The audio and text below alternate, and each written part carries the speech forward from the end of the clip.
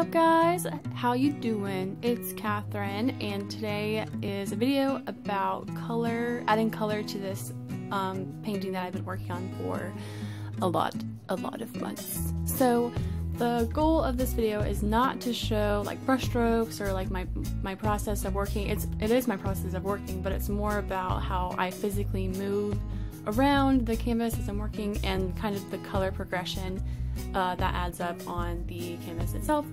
So you'll see, I think I'm wearing like five different outfits in this video because it's like five different days of filming. They were not in succession, so like some of the days there will be like a little bit of space in between.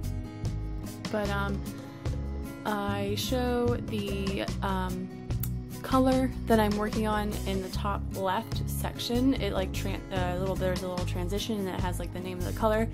Um, so let me just say like the main question that I get when I'm working on a painting on Instagram, on YouTube, whatever, is why why do you do gray first and then do color afterwards? And everyone thinks that it's just like so much extra work that I'm doing, but no, it's not. So I've answered this question before um, in a video or somewhere, I don't know. But um, the answer is that because oil paint is translucent, you have to do layers. So if I were to just do color um, like right on canvas, like light will like go through that color and bounce off the canvas, the white of the canvas, and then it will just make the colors appear really dull and kind of flat. So if you add color on top of value, which is what the grayscale is, it makes light bounce through both those colors, and then when it comes back to your eye, it like mixes in your eye, and then the objects that you are looking at have a lot more depth, and I mean, even the color sometimes can appear luminous. That's the goal.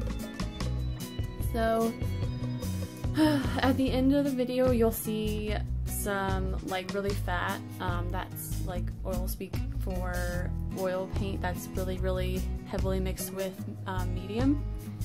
And it just brushes over like part of that broken window.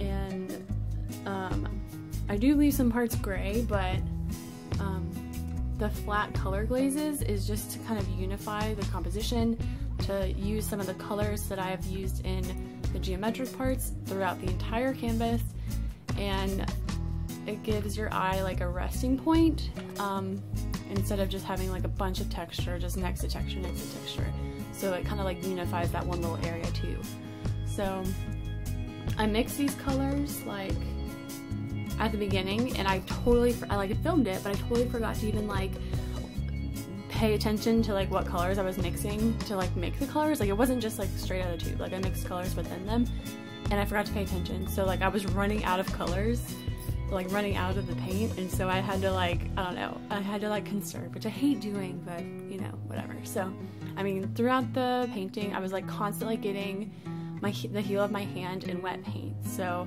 you'll see I, I tried to like keep as many times of um, using wet wipes in here as possible. And there's like a little hashtag. It's like, uh, wet wipes for president, man. Yeah. I mean, wet wipes would probably make a better president than, uh, okay, never mind, we're gonna move past that. So I had to sit on the floor a bunch um, for working on both of those staircases because they were really low to the ground. Um, I even like missed filming a couple of the colors, like I missed like that blue and I missed like the, um, that red and then I think I missed like a, a really dark blue. But you can see it at the end, like I show a little pan. And then also I had um, this post on Instagram. So I had posted it on Instagram and I had like just like the cool gray cool greens and blues and stuff and like everyone really liked it and I didn't know if I should move on with the uh, like orange purple and like rusty reds and stuff but I was like you know I don't know if I'm gonna do it or not but I went ahead and did it and I'm still not really quite sure how I feel about it. I think it looks really nice on the chair, but on the mattress, I think it makes the mattress look like super ugly.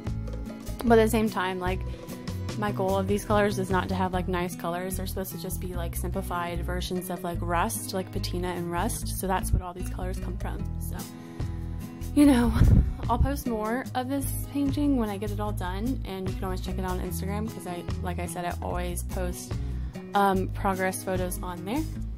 So I'm getting close to the end here, so thank you guys so much for watching. And I post a video every Wednesday and every Saturday if I have time. I didn't this Wednesday because I was in New Orleans, but anyway. Thank you guys so much for watching. I will see you later. Bye!